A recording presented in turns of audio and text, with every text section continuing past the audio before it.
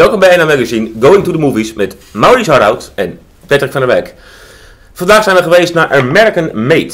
Ja. En ehm, wij zijn, ik ben super super enthousiast. Ik vond het een goede film. Ja, zeker. Laten we dat even van de get-go eventjes eh, benoemen. Ik vond, Ja. eh, ik vond hem een goede rol. Hij speelde er goed erin. We hebben Ja. Tom Cruise laatst natuurlijk alleen maar gezien in acties, acties, acties. Nu was dit ook wel actie, maar, maar niet- meer verhaal vond ik. Ja, zeker. En hij vertolkte de rol glansrijk. Ik vind Ja. hem echt een goede acteur. Ja, maar het was ook gebaseerd op een waar verhaal. Ja.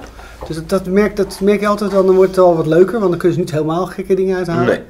En, maar ik moet wel zeggen, gebaseerd op, is dan altijd wel, wordt er wel ruim Ja. geïnterpreteerd. Amerika, op zijn Amerikaans Ja, genomen. Ja. Maar het is wel leuk. Eh, Ja. Ik eh, zou best wat eh, historische punten zou ik terugkomen van die Iran-Contra affaire. Die kwam duidelijk in. Ja, met eh, Noriega en met Colonel Noord, met Ronald Reagan tijdperk. Ja. Het begint eigenlijk in de Carter tijdperk, dat zie je Ja, zo. klopt. Dan begint zo en dan later zie je steeds meer... Reagan, Nixon. Nee, niks niet. Nee, Nick, komt Nixon niet een beetje voor nog? Nee, nee, nee. En dat is de voornaam. Nee, en ehm, wat wel is, het gaat natuurlijk over de corrupte toestand van de CIA. Dat is, dat is duidelijk eh, hoe die eh, naar voren werd gehaald. Klopt. En dat hij daar heel leuk van... eh, Profiteerde. ja, Ja, die profiteerde van mallen. Dat is wel mooi. Ik vond het mooi in de film dat je een man zag die niet meer wist wat moet nou met geld. Ja. Het geld werd een probleem. Ja. En vooral de opslag van het geld werd een probleem. overal.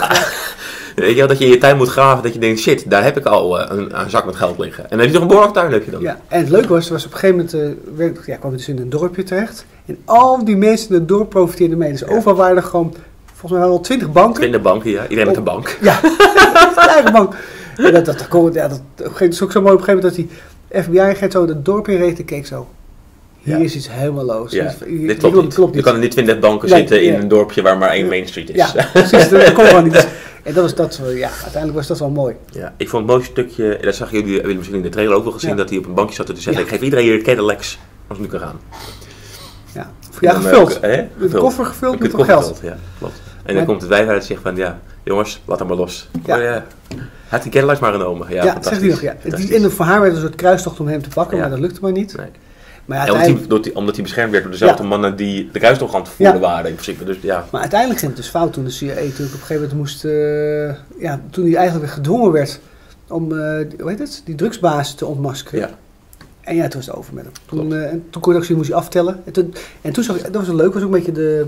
Het, het begint natuurlijk dat hij natuurlijk opneemt van dit is mijn verhaal. En aan het einde zie je ook wel hoe de, waarom hij dat Ja.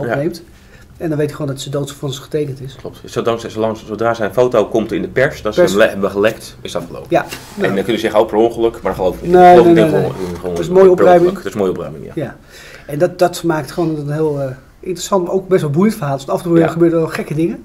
Ja. Want eh, kijk, het is toch in een rare tijdperk speelt eraf, waar je af en toe gekke dingen met drugs. Maar ook Ja. met die rebellen die totaal eh, gekke dingen Die doen. niet wou, eh, Die wil helemaal niet wou- vechten. Die wilden alleen maar lekker het goede leven hebben. Ja. Ja, eindelijk. Het kon in Amerika, ze waren nog niet op de lopende grond of ze Ja. vlucht alweer. ja dat is goed gek. Nee, dus dat was een eh, leuke film. En het is zeker de moeite waard om naar de bioscoop voor te gaan. Ja. Je hoeft er echt niet op te wachten tot die een keer op Netflix komt. Het is echt wel eh, het is echt de moeite waard. Ja. Het, is een, eh, het, is een, het is een wat langere film, hè, uit, mijn- zeg ik even Ja. uit mijn hoofd. Maar het lijkt er niet op. Weet je. En als Nee. het eigenschap van een goede film is, als hij twee uur duurt en het lijkt een uur, dan heb je een hele goede film zien, denk ik dan. Daarom. Dus eh, cijfertje? Ja, ik geef hem een 8. en eh, ik geef hem een 8 voor het verhaal en ver- vooral voor de vertolking van Tom Cruise, eh, de personage. Dat Ja. heb hij echt fantastisch neergezet. Ga ik helemaal mee, eh, mee. Dus ik ook een 8. Dus dat is een duidelijk cijfer. Duidelijk cijfer en het zeker de moeite waard. Ja, dus ik zou zeggen, gaan en dan spreken wij de volgende keer weer. Ja,